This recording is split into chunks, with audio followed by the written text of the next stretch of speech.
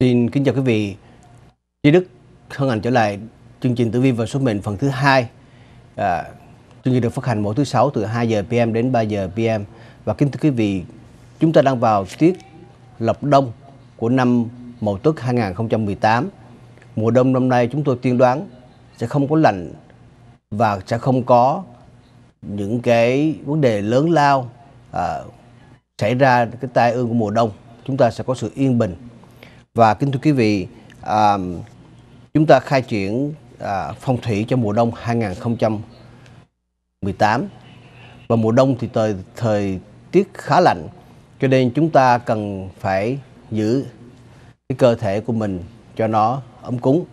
À, có một điều cơ bản rằng là vào mùa đông thì đa số những người à, vì không giữ ấm được cái phổi của mình cho nên là những bệnh sưng phổi lao phổi xảy ra rất là nhiều mà cái bệnh sưng phổi hay lao phổi hay là viêm phổi vân vân nó có nhiều cái nguyên do của đó.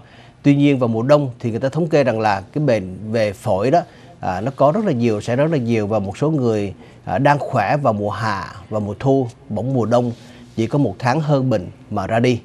Chính vì thế chúng tôi à, nhắc nhở quý vị rằng là à, chúng ta nên mặc quần áo ấm.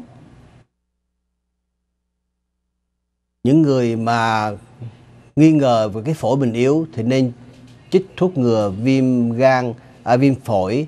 À, tôi biết là A13 và A23 chúng ta xin chích thuốc ngừa viêm phổi và trong căn nhà của chúng ta chúng ta ở đó thì chúng ta sẽ xem cái hướng gió à, như thế nào đi vào từng à, cửa sổ một để, và có sức à, mạnh của phong thủy nó có sẽ phá cái à, sức gió như thế nào chúng ta phải để ý đến kế đến à, vào mùa đông thì thường thường chúng ta sẽ mở cái máy hít. À, có khi hít bằng điện có khi hít bằng bằng ga và có khi hệ thống AC chúng ta có hít. Tuy nhiên cái hơi hít nóng đi xuống trong căn phòng của chúng ta thì việc đầu tiên hết là chúng ta phải thay cái filter. Chúng ta phải filter để chúng ta bỏ đi tất cả những cái à, ký sinh trùng những cái à, dust những cái vật dơ nó bám vào cái filter trong suốt một năm qua.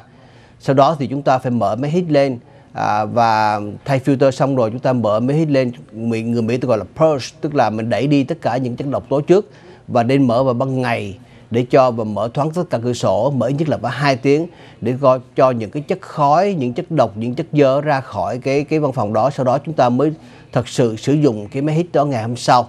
Và khi trong phòng ngủ của chúng ta thì chúng ta phải để ý rằng là trong mỗi một phòng ngủ nó có một cái vent một người, ờ, người, ờ, người ta gọi là cái diffuser đó tức là diffuser cái đó tức là cái vent ống để mà chúng ta đóng ra đóng vào đó nó đi xuống trong từng căn phòng một. Nếu người nào ngủ mà mình bản thân mình nằm ngủ mà cái chân của mình đạp vào cái cái cái cái ống đó tức là cái hơi nó sẽ đi thẳng vào trong người của mình đi vào cái hướng thở của mình thì đó là một điều vô cùng độc hại. Quý vị phải để ý đến cái chỗ phòng mình ngủ là phải tránh cái hơi thổi của cái ga nóng vào.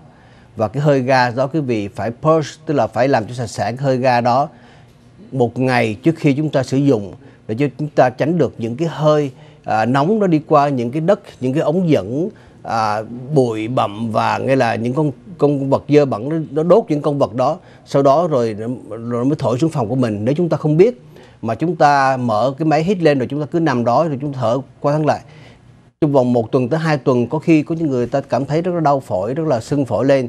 Thì vào đó có những cái vì cơ thể mình yếu có những cái chữa trị có thể là gây đến tính mạng của mình rất nguy hiểm rất nguy hiểm là như vậy. Cho nên kính thưa quý vị ăn uống thì chúng ta nhớ à, ăn uống đồ ấm à, và giữ cái cơ thể nhiệt của mình luôn luôn ấm không bị cái sức lạnh nó tàn phá. À, rồi à, những người mà hút thuốc lá hoặc là những người mà sợ cái phổi mình không có được à, vững vàng không được khỏe thì nên uh, xin bác sĩ để chích thuốc uh, viêm gan phổi viêm phổi A13 và A23 à, kính thưa quý vị à, và chúng ta đi xa hơn tí xíu nữa là chúng ta à, thấy rằng là có những người mà làm việc ở trong các văn phòng những cao ốc lớn những cái, cái căn phòng mà họ làm việc 8 tiếng một ngày với computer căn phòng lúc nào cũng đóng lại. Có khi lúc nào ta dùng vào mùa hè người ta sẽ dùng vào cái máy lạnh.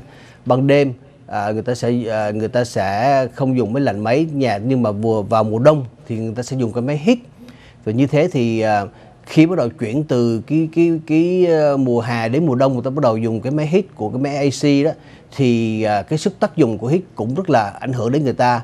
Đến à, trong khoảng chừng à, năm sáu ngày đầu sau khi mà cái cái cái hít đầu tiên cái độc hại đó nó nó đã hạ xuống rồi đó thì người ta ok. Cho nên là ừ, những người mà làm việc ở trong cái uh, truyền thông à, hoặc là những ngồi trong phòng kín à, và những người mà là học computer hay làm computer vào mùa đông khi mới hít xuống thì chúng ta nên cẩn trọng. Tức là khoảng 2 tiếng thì chúng ta nên ra ngoài để chúng ta có những cái ờ, à, cái fresh air nó vào trong cái phổi của mình. Mùa đông chúng ta rất là cẩn trọng đến cái phần phổi của mình là như thế. Và à, những người làm việc với cái à, rất thời gian bỏ hết cuộc đời thời gian của mình làm vào những cái công việc như là truyền thông, à, communication hoặc là người ta à, dùng tất cả những cái trí tuệ hay là khả năng của mình để lên những cái web, những cái nói chuyện à, để mà nói về vấn đề à, tin tức thế giới, thời sự vân vân. À, mà với tinh thần cống hiến cái khả năng tài năng của mình để chia sẻ và chuyển giao những cái à, kiến thức những cái thông tin những cái điều cần biết đến toàn thể nhân loại à, nói nói chung và những người cộng đồng của họ họ nói riêng. Đây là những tinh thần rất là quý báu đây là những con người à, rất rất là đáng kính bởi vì người ta à, đã bỏ tất cả thời giờ quý báu của mình để mà làm công việc chia sẻ cái thông tin của mình cho mọi người. Chính vì thế mà chúng ta thấy rằng là à, trong thời sự chúng ta thấy có những người mà à, đã bị nói đến đụng chạm hoặc là có những người mà người ta nói thông tin người ta đi hơi quá xa đến vấn đề của cá nhân thì sẽ xảy ra nhiều vấn đề rắc rối đến luật pháp. À, tuy nhiên thông tin vẫn là thông tin và cái nghiệp vẫn là cái nghiệp. Việc đó nó sẽ là sẽ mãi mãi tiếp diễn. Hơn nữa vào mùa đông này mùa đông này chúng tôi tiên đoán rằng là à, mọi sự nó sẽ bình đều không có sóng gió. À, tức là những cuộc kiền cáo hay là những cái vấn đề nói về cái à, khó khăn trong đời sống sẽ không là cái vấn đề à, rắc rối về thông tin nữa mà là sự êm dịu tuần tự hơn. Hơn nữa chúng ta thấy là trong cộng đồng trong cộng đồng của chúng ta rất là nhiều người đã dùng những cái thông tin để mà à, những cái tin tức những cái web những cái internet để được à, để được bầu bán để được à, à, làm những cái vị làm những chức vụ lớn ví dụ như là tổng thống à, đệ tam quốc gia vân vân. À, người ta cũng dựa vào cái cái hệ thống của ờ, thông tin cái hệ thống của computer của internet vân vân. À, theo tôi nghĩ thì à, tất cả những cái tinh thần đó cũng nhằm mục tiêu có một tinh thần của chính nghĩa đứng về phía uh, của người quốc gia. Họ muốn có một lập trường. Cho dù người đó cho dù người đó là cái người à, à, với cái tính tình như thế nào đó tốt xấu tính tình đó hư thực tính tình đó ảo tưởng tính tình đó à, à, dữ hay là hiền vân vân chúng ta không cần. Chúng ta chỉ cần biết rằng là đó là người đó đang đi cùng hướng với chúng ta đi cùng một chính hướng với chúng ta là được rồi. Chúng ta không có nên có những cái vấn đề mà à, chỉ trích cá nhân trực tiếp như vậy. Thật ra không có lợi cho cái cuộc à, đấu tranh chung của à, tất cả những cuộc đấu tranh có cùng một ý nghĩa là như vậy. Và đến đây thì chúng tôi xin phép à, vào phần giảng giải lá số tử vi cho những người à, muốn biết đến bí mật đời của mình. Xin cho biết năm tháng ngày vợ sinh ạ. Dạ chào thầy. Dạ ta, ta, ngày nói ngày âm lịch hả thầy? Ngày dương lịch đi. Dương lịch hả? Dạ 19 tháng giêng 1959 dương lịch sinh Rồi. giờ tỷ. Ngày 19 tháng 1 năm 1959 và người này à, sanh lúc mấy giờ? Nữ sanh lúc mấy giờ giờ tỷ á. Giờ tỵ từ 10 giờ sáng rồi tôi đọc lắng nghe nhé người nữ sinh vào ngày Dạ. 19 tháng 1 năm 1959 giờ tỵ người nữ này có một mệnh số định mệnh cuộc đời sắp xếp như sau. Thứ nhất đây là cái người mà à, cả một đời mình phải lăn xăng chạy nhiều thứ lắm nha chạy nhiều thứ lắm. Khổ vô cùng đời mình cuối cùng chết là vì à, quá cực khổ quá muốn có muốn cái sự thành tựu tiền bạc của mình nó trời cho lúc được lúc mất nó không có được êm đềm. Mãi chờ mãi cho đến khi 55 tuổi trở đi thì lúc bấy giờ tiền bạc tài sản giờ cuối cùng trời mới cho mình sự thành tựu và tốt đẹp nha. Đây là cái người mà đây là cái người mà một đời của mình khổ, con người tốt nha, tốt nhưng mà chỉ có cái khắc phục của cái sự kiếm tiền giàu có. Đây, đây là cái bả của tham sân si. Khổ cực nhưng mà cuối cùng trời cho mình là cái người đạt được cái vấn đề tài chánh nhưng mà đường chồng con thì không có được như ý. Nha chúc may mắn. Dạ. Dạ cảm ơn thầy. Không có gì. Alo xin cho biết năm tháng ngày sinh của người kế tiếp bà. Alo. Dạ cứ đọc năm tháng ngày sinh dương lịch đi ạ. Dạ thưa người Nam 20 tháng 8 1954 5 Một- giờ chiều. rồi 1954 ngày à, 20 tháng 8 tháng 8 dạ. Ngày 20 tháng 8 à, 5 giờ chiều. Như vậy là người Dạ. này sẽ sinh vào giờ thân nhá. Dạ. tôi nói sơ lược về định mệnh của người này cho nghe. Người nam sinh vào ngày 20 tháng 8 năm 1954 vào giờ thân. Người này có mệnh như sau.